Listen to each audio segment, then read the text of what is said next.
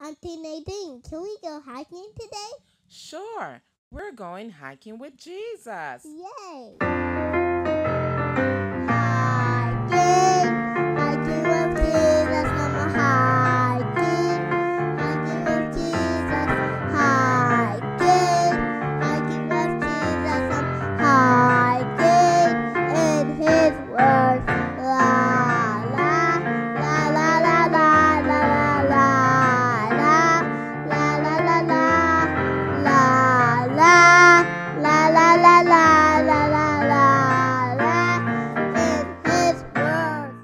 Hiking with Jesus, a primary devotional by Jim Feldbush.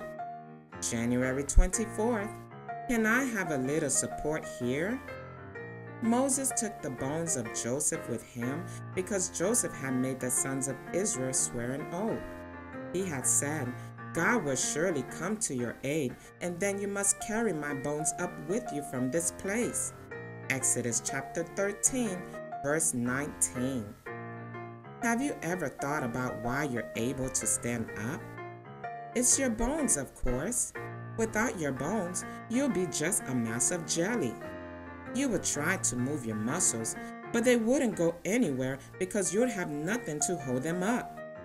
You and I couldn't even go on our nature hike together if we didn't have bones.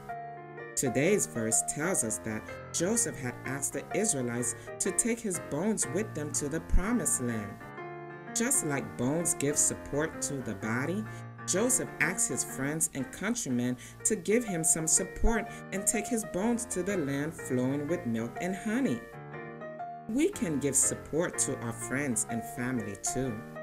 Just as your bones hold up your body, you can be faithful by holding up your loved ones in prayer and by helping them whenever and wherever they need it. Believe me, they'll appreciate the support. January 24th. Can I have a little support here?